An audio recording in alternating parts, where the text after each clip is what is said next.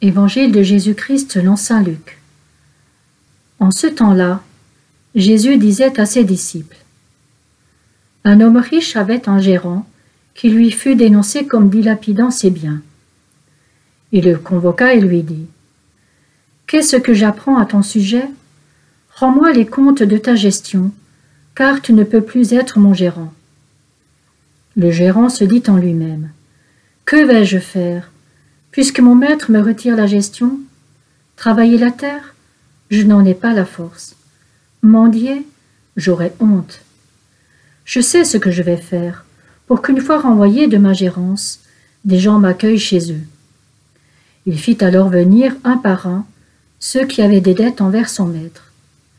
Il demanda au premier Combien dois-tu à mon maître? Il répondit Cent barils d'huile. Le gérant lui dit Voici ton reçu. Vite, assieds-toi et écris cinquante. Puis il demanda à un autre Et toi, combien dois-tu?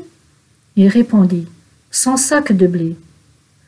Le gérant lui dit Voici ton reçu, écrit quatre-vingts.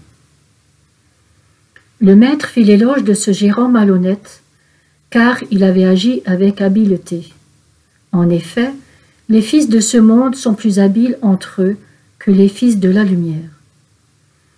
Eh bien moi, je vous le dis, faites-vous des amis avec l'argent malhonnête, afin que, le jour où il ne sera plus là, ces amis vous accueillent dans les demeures éternelles.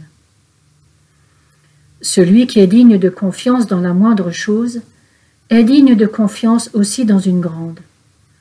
Celui qui est malhonnête dans la moindre chose est malhonnête aussi dans une grande.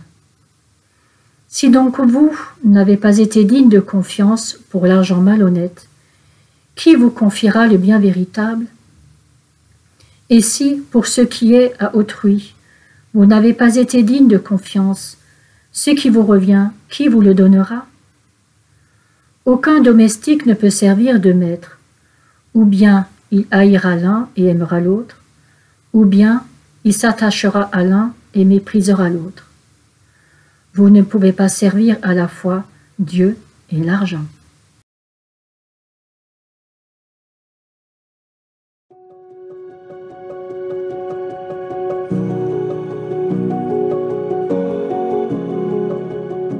Il ne nous est pas toujours facile dans nos relations d'évoquer les questions d'argent. Jésus, quant à lui, aborde le sujet à plusieurs reprises et d'une manière qui peut nous paraître assez surprenante. Ce gérant malhonnête mérite-t-il vraiment des éloges? Le but de Jésus n'est certainement pas de nous inviter à des pratiques douteuses. On pourrait dire que Jésus remet l'argent à sa juste place. L'argent est la moindre des choses. Il ne s'agit que de morceaux de métal ou de papier quand il n'est pas complètement dématérialisé. L'argent n'a donc vocation qu'à servir et il nous faut toujours vérifier que nous n'y sommes pas asservis. Jésus ne dit pas cependant que cette moindre chose n'a pas d'importance, au contraire. La manière dont nous gérons l'argent révèle beaucoup de choses sur notre liberté, sur notre générosité, sur nos priorités, etc. La fidélité dans les petites choses est la première étape pour une fidélité dans les plus grandes choses.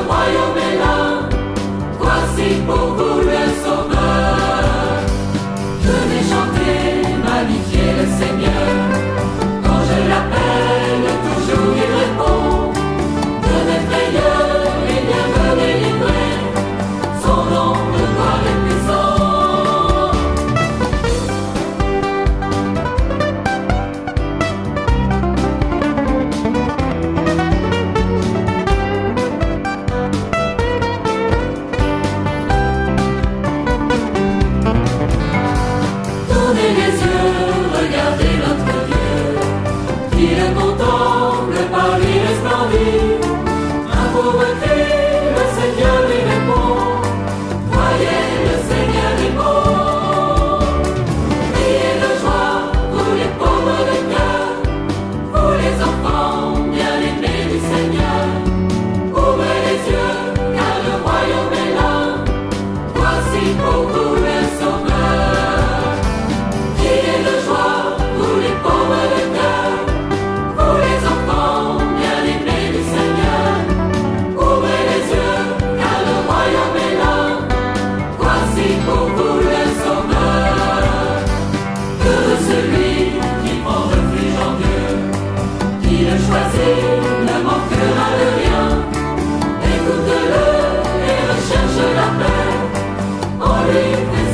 in your